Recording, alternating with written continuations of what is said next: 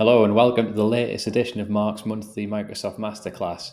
This time we're talking about something very uh, dear to my heart Microsoft Teams, and namely five things that you can do to make your life a bit easier.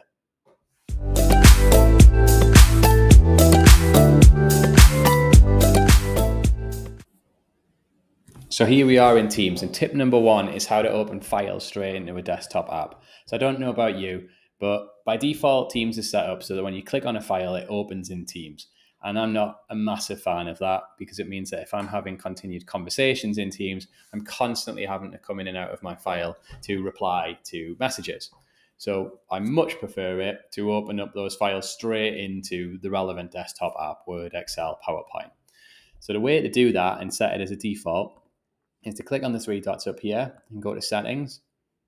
And then if you go to files and links, you can change this setting. So if it's set as Teams by default, which it will be, um, you can change this to desktop app like I've got here. And it means that forevermore, those files are going to open straight into the desktop app that I want them to. Another really useful feature, and this is tip number two, is how to create flows related to conversations that you're having in Teams. Flows are essentially actions, uh, automations that you do. So to do those within conversations, I go to the conversation that I want to create a flow for, and I click the little three dots here and I go to more actions. And from here, I'll be able to see the flows that have already been created for me. Um, so I've got ones around being able to create a task based on the conversation that's happening and find a meeting time. We'll demonstrate that a little bit later. If I don't see what I'm looking for here, then I can go down here to create a new action and I can create a flow based on whatever I need it to be able to do. So it's going to give me a load of defaults that Microsoft have created for me um, that I can pick from. But if I find that the thing that it, the options that I've got here aren't aren't right for me. They're not they're not what I need. Um, then I can pick my own. So I can cycle through all these various options. If I don't like any of them, I can create a brand new one here that'll do something for me. So as we saw when I clicked on the three dots earlier, a useful flow that I've already set up is this one: find a meeting time. So I'm in a conversation with Diego, and I might think actually I could really do with talking to him, but Diego's busy. He's in a meeting already, or he's offline, or whatever else. So what I can do instead is I can use this flow to set up a meeting automatically for me. So I just call it quick chat. I can put a description if I want. I put a time in, let's say 15 minutes. Then I hit submit. And what that's going to do is it's going to find a time in my diary and Diego's where we're both free for 15 minutes. And the first available slot that it can find, it's going to stick that in our diary so that I remember to have that conversation with him and it's booked in so that we have it. It's a really useful little feature. Another really nice quality of life thing that we can do is within chat. So again, I might be use I use Teams all the time. So it might be that I'm having a, a, chat with someone in the chat part of Teams, but at the same time, I'm part of a, a wider conversation with my team in Teams. And so out of the box, I'm constantly having to flip between these two areas to reply to and see messages that are coming through. So, a really easy way for me to manage this is to break out my chat conversations into separate windows so that I'm not having to kind of fly around Teams so much. And that's really easy to do. I just go over to the chat conversation that I want to break out and I click on this little icon here. And this makes my conversation, in this case with Emily, break out into a separate window. If I've got two monitors, I can have this on one monitor and I can reply as and when that goes. And I can have my conversation within Teams in a totally uh, separate area. So I'm not having to flick between the two all the time. There's two other really useful features um, within chat a lot of people don't utilize.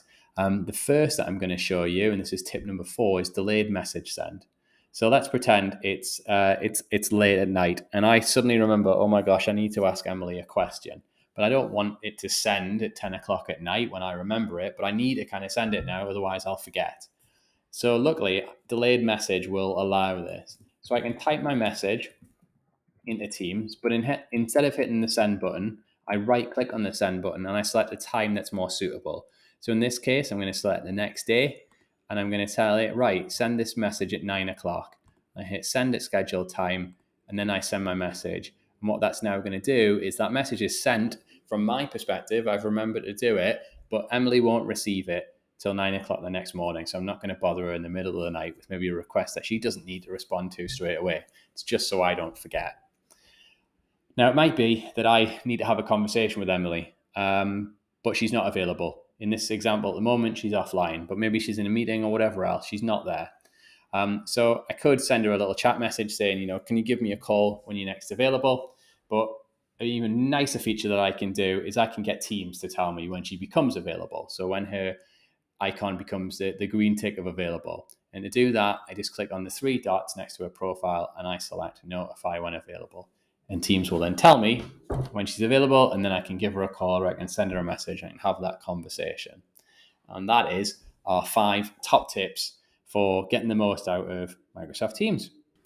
And finally, I'm delighted to announce the launch of inTEC Impact.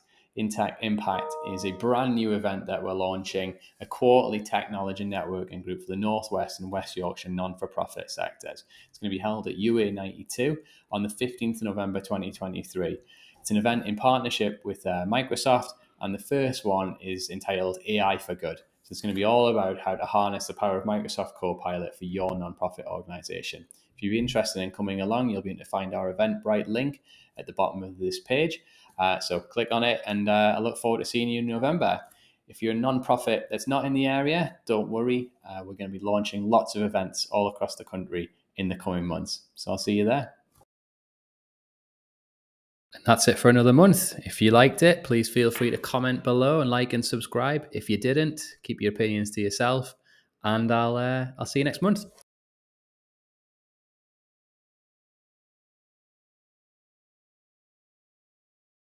Bye.